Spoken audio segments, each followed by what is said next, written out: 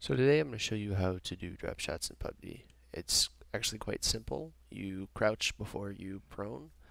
Uh, so for me, my crouch is C, prone is X. So uh, for me, a drop shot looks like this. Crouch, prone, ADS. At full speed, it looks like this. This is compared to a regular drop shot where you just prone, which looks like this as you can see, your aim gets flung out uh, really awkwardly far away and it makes your shots really hard to hit.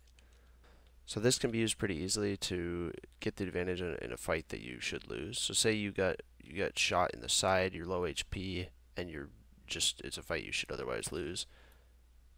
Drop shotting can throw off the other player because they just don't expect you to go prone, and sometimes they'll think you they got a knock on you when they did it.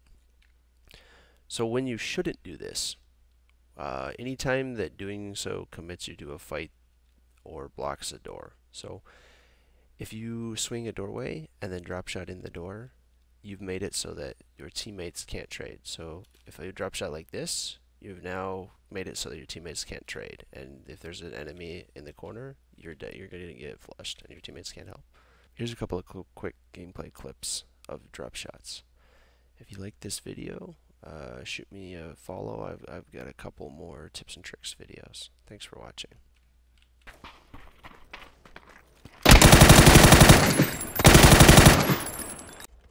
You got it. You got heals. It's a fucking team. team. Abort. Yep, go, yep. go, go, go, go, go. Just run. Just run. Oh my.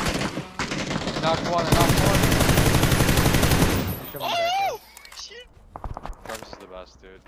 I'm convinced. Drums, you have to get me. Drums, you have to get me. Oh, oh, oh. Drums are the fucking best.